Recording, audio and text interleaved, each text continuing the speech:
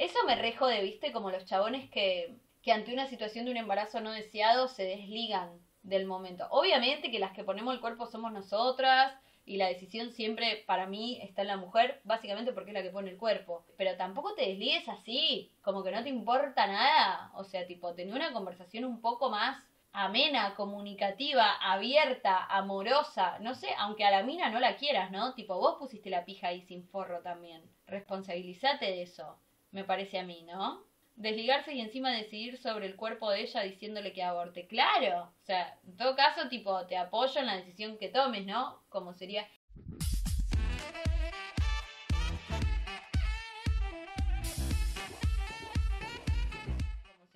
Hay un redebate con eso, hay un redebate con eso, de hasta dónde el hombre no puede opinar, puede opinar, qué pasa con los derechos del hombre, si quiere o no quiere ser padre. Hay un redebate, mal, es re interesante ese debate igual. O sea, me parece muy interesante. Yo no tengo las respuestas. Para mí, ante la duda, siempre del lado de las pibas. Siempre. Ante la duda, siempre del lado de las pibas.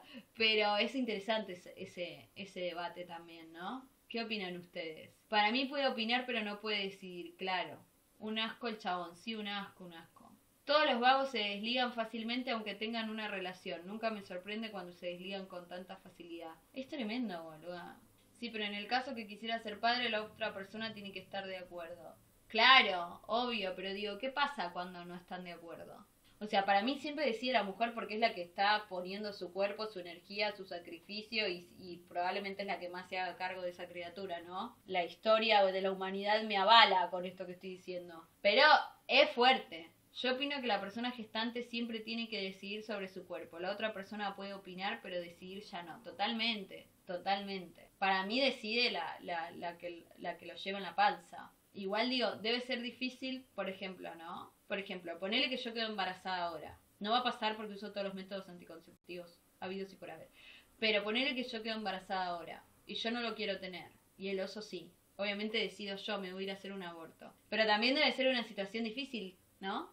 No digo este caso que el chabón es un pelotudo, es un forro, pero ponele un pibe bien, un buen pibe, ¿entendés? La novia queda embarazada, el chabón quiere, ella no. Debe ser duro también, no sé. Obvio que decide la mina, eso no está en duda. No estoy preguntando, che, ¿y quién decide? Decide la mina, siempre, siempre. Decide la persona que pone el cuerpo, siempre. Pero debe ser difícil también para el otro. El chabón no puede iniciar algo legal, no sé, no sé, ¿eh? Si el tipo lo quiere tener, que lo tenga, pero solo. O sea, para el parto y listo. No entiendo. ¿Cómo? ¿Da luz él? ¿Da luz el chabón? lo gesta el tipo, se lo ponen en la panza al chabón y, lo da luz por el orto. No entendí, amiga, ¿cómo hace?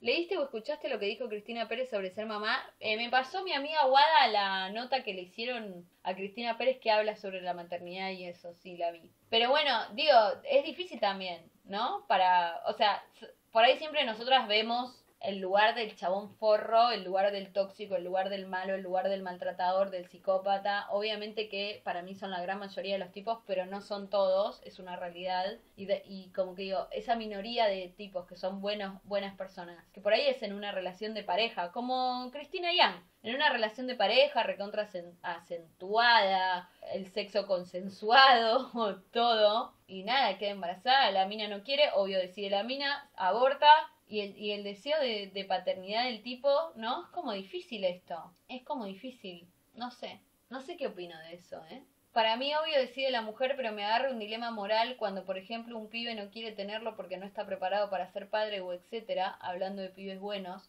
Claro, eso, tal cual. También al revés, ¿no? Si el chabón no quiere y ella quiere, por eso se habla desde antes para tener una idea. No sé si es tan fácil eso, ¿eh? No sé si es tan fácil, amigas. Permítanme decirles que no sé si es tan fácil. Y yo lo pensaría, yo lo pensaría, ¿eh? No sé, igual, ¿viste? Porque hay que estar en esas situaciones. Por ahí yo me hago la re pro aborto, pro aborto, y después estoy ahí, me cago en las patas y digo, no puedo. No sé, no lo sé, no lo sé. Pero yo estoy segura que él me diría que no aborte.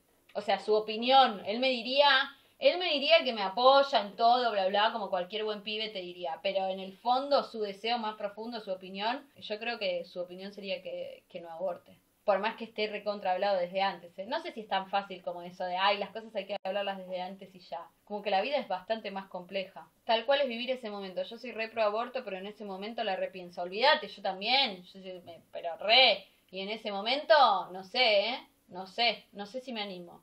No sé si me animo, boluda. Es re complejo, no es algo sencillo. Nadie dice, porque yo lo he hablado con todos y es un re tema, es un re tema, boluda. Es un re tema mal. No es una decisión para decidir sin pensar, tenerlo no es una decisión sin vuelta atrás. Totalmente. Es, yo creo que debe ser una... No sé si no debe ser la decisión más difícil en la vida. No sé si hay decisión más difícil que esa en la vida, ¿eh? Es muy feo pasar por esa decisión, sobre todo cuando hay amor entre los dos. Mal, como Cristina. No, mal, mal, mal. O sea, posta es re complejo, boludo. Por eso siempre hay que ponerse preservativo, amigas. Siempre hay que tener forro, no hay que jugar antes. Esas cositas pueden salir mal. Con el forro puesto lo que quieras, sin el forro puesto ni te me acerques, guachín, ¿eh? Que le pasó que su novia de la adolescencia quería hijos y él no. Ella desapareció de un día para el otro y seis años después apareció para decirle que tenían una hija. ¡Wow! Es un montón. Tengo el DIU, dice Lore. Igual, amiga, no me confiaría del DIU, ¿eh? Conozco mucha gente que nació con el DIU en la frente, Gordi. Se te corre un poquito y ya está. Y eso que yo las dos veces que me pasó estuve con un pibe que ni somos nada y me recostó igual hacerme el aborto y casi muero en el primero. Wow. Amiga, ¿no se cuidaron? Después del primer aborto, ¿no tomaste muchísimas más medidas de prevención o fue un accidente? El DIU nuevo mío desbloqueado. Yo no creo en el DIU. Yo reaverigüé, ¿eh? Averigüé todo para ponérmelo. Todo, todo, todo, todo. Y dije, no me lo voy a poner. Y tomaba pastillas religiosamente. Pará, me perdí la primera parte. ¿Qué, se les rompió el preservativo o no se lo pusieron? Yo nací con el DIU en el brazo y se te fía y tenés, ¿viste? Mi prima nació con el DIU en la frente. Unas primas mías también. ¿Cuántas hijas del Diu mal? No usé forro y tomaba pastillas. Y para mí, al forro no hay con qué darle, gorda. Para mí al forro no hay con qué darle. La pastilla puedes tener un quilombo hormonal, puedes haber estado con vómitos, puedes haberte olvidado una, puedes tener algo que no, no te esté haciendo, que te bloquee el efecto de las pastillas. Fer dice, el Siu Diu son los más jodidos de controlar que este no. El forro se rompe y tenés la pastilla. Exacto. O sea, de verdad creo que igual, ¿cuánta gente conoces que se le rompió el forro? O sea, no es tan normal que se rompa un forro. No es que yo usé forro, no sé, mil veces, ponele, y nunca se me rompió el forro. Jamás. O sea, no es algo tan normal. Es mucho más normal. Escuché muchas más veces que se olvidaron de tomar la pastilla a que se les rompió el forro. Como no es tan normal. Y además, el forro lo ves si se rompe. Y en todo caso, te tomarás la pastilla del día después, que es una cagada y no la recomiendo. Pero bueno, en un caso extremo, ah, yo si estoy con el oso y se me rompe el forro, me tomo la pastilla el día después. O sea, lo ves, tipo, lo ves. El DIU no lo ves, o sea, el DIU lo tenés adentro y se te pudo haber corrido y no, y no te das cuenta, no lo ves, no sé. A mí me pasó y tomé la pastilla, fue. Sí, igual yo tengo amigas que tomaron la pastilla y hoy tienen hijos. La security.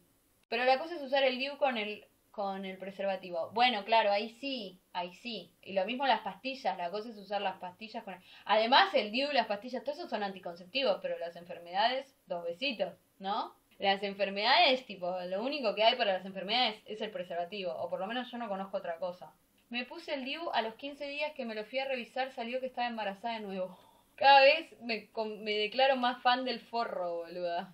Cada vez más, o sea, aguante el preservativo. Yo tomé pastillas un año solamente y re bien. Decidí dejarlas y forro nada. Yo tomé pastillas 10 años. Con las pastillas si tienen tiroides. Conozco a varios hijos de tiroides. No te hace efecto. Si hay algo mal con el preservativo, se rompe, se queda adentro, está pinchado, lo que sea, te das cuenta. Es algo visual. O sea, lo ves. Todo lo que la pastilla, el DIU y todo eso, no te das cuenta. va por dentro. No, no tenés control sobre eso. Pero bueno, amiga, yo reaverigüé para ponerme DIU y eso y la verdad que desistí. Desistí y dije, ok, forro team.